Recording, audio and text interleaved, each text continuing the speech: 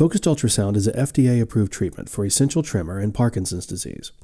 This incisionless treatment is performed without anesthesia. Patients can go home the same day after treatment, and the symptom relief is immediate. This treatment is performed with live MRI guidance. Patients receive a stereotactic head frame to stabilize their heads during surgery.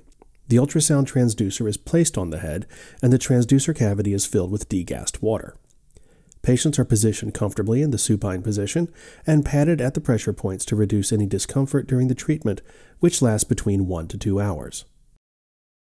The clinical parameters that influence the treatment efficiency are number of active elements, skull area, and skull density ratio or skull score.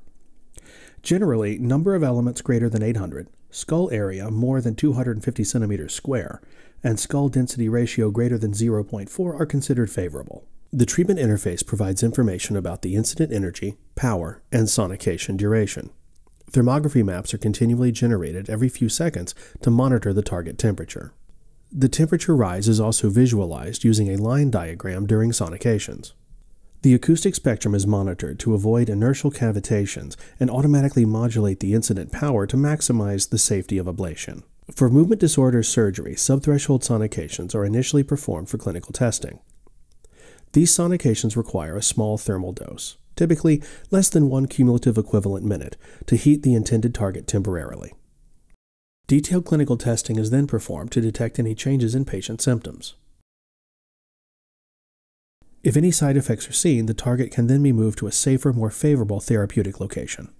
Once the safety of the intended target is established, higher energies are applied to achieve temperatures greater than 55 degrees centigrade.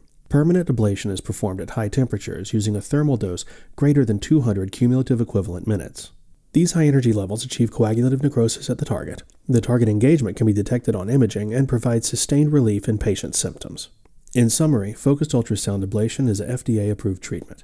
Patients experience immediate relief in their symptoms and can go home the same day after surgery.